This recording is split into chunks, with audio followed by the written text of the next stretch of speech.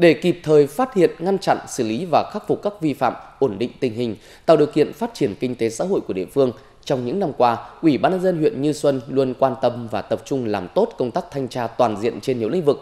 Thông qua hoạt động thanh tra theo kế hoạch và thanh tra đột xuất do Chủ tịch Ủy ban nhân dân huyện giao, nhiều vi phạm đã được phát hiện và chấn trình, giúp các địa phương, đơn vị được thanh tra nhìn nhận lại công tác lãnh đạo, điều hành, từ đó rút kinh nghiệm và kịp thời điều chỉnh những mặt còn hạn chế yếu kém.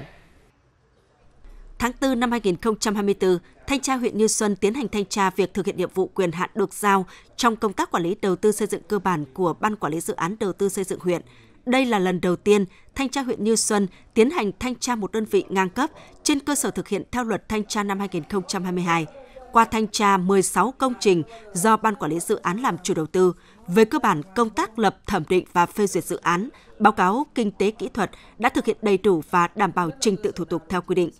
Việc quản lý chất lượng thi công công trình đã cơ bản được đảm bảo.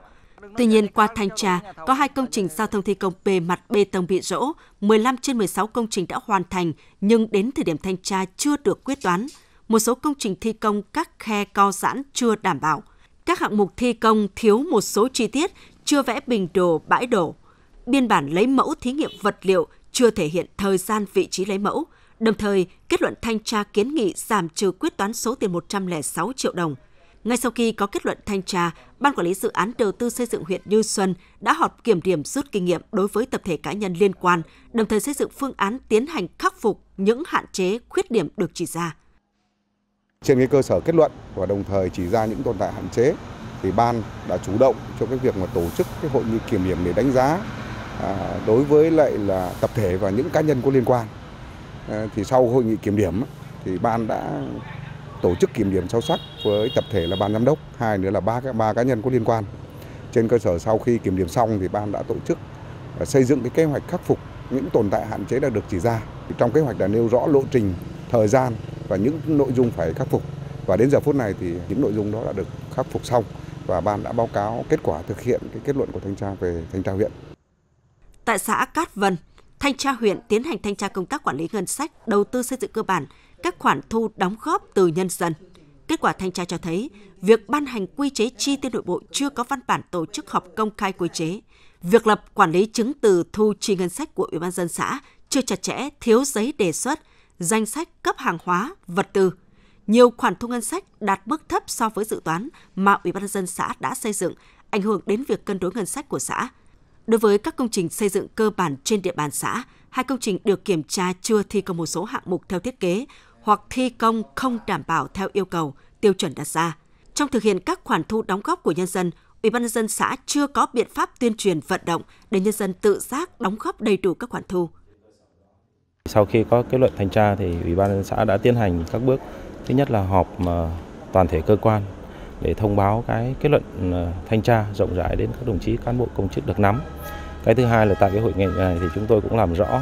những cái khuyết điểm hạn chế còn yếu kém trong cái công tác thanh tra đã chỉ ra